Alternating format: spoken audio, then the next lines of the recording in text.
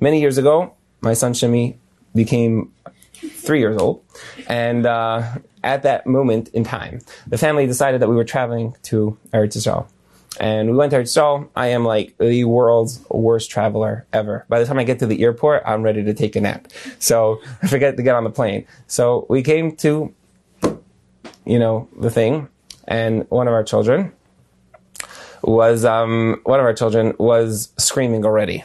So that was already like the start of like a uh, very exciting trip.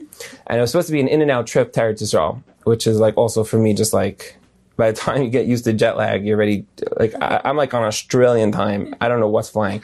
So we go there, and this child is screaming, and screaming, and screaming. And we landed. It was I remember it was over a Shabbos, and we went ahead and we were in a hotel, and then we were going up north to Meron, where there's like a gazillion people, which is beautiful, but uh, you know, a thousand degrees and schwitzing and whatever. And this child of ours is screaming and screaming and screaming and screaming and screaming and screaming. Did not stop screaming. And we had five days where it was just running in and out, jet lag, craziness. And then we finally got back onto the plane coming home. And I was, I said to my wife, I said, when I get home, man, do I need a vacation. Like, I just need, I just need to get into bed, uh, just sleep for like a week, and catch up. I'm just like so I don't I don't know what I don't know what day of the week it is. I don't know what's going on. And I remember we got on the plane.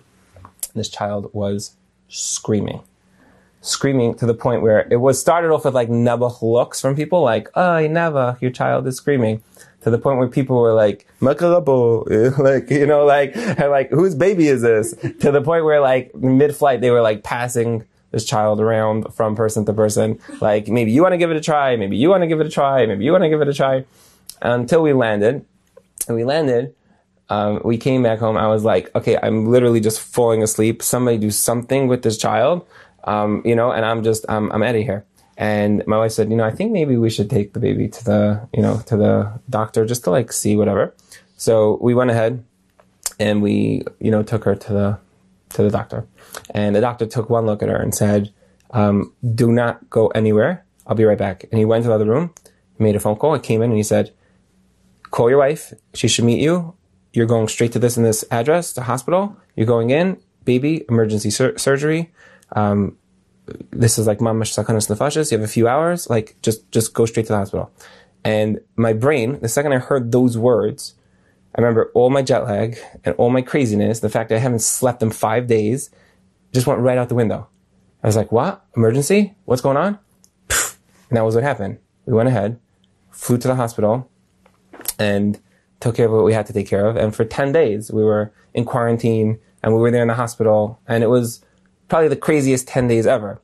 But the second, the second that my brain told me that there's no sleep right now, like there's something going on with your child, you have to act. All the tiredness, all the craziness, all the jet lag, all the frustration, all the everything out the window. Totally changed. Zrizos is about the idea that I cannot sleep till two o'clock in the afternoon. I cannot sleep till one o'clock in the afternoon. I, I, I have to get up in the morning with a reason and with a purpose.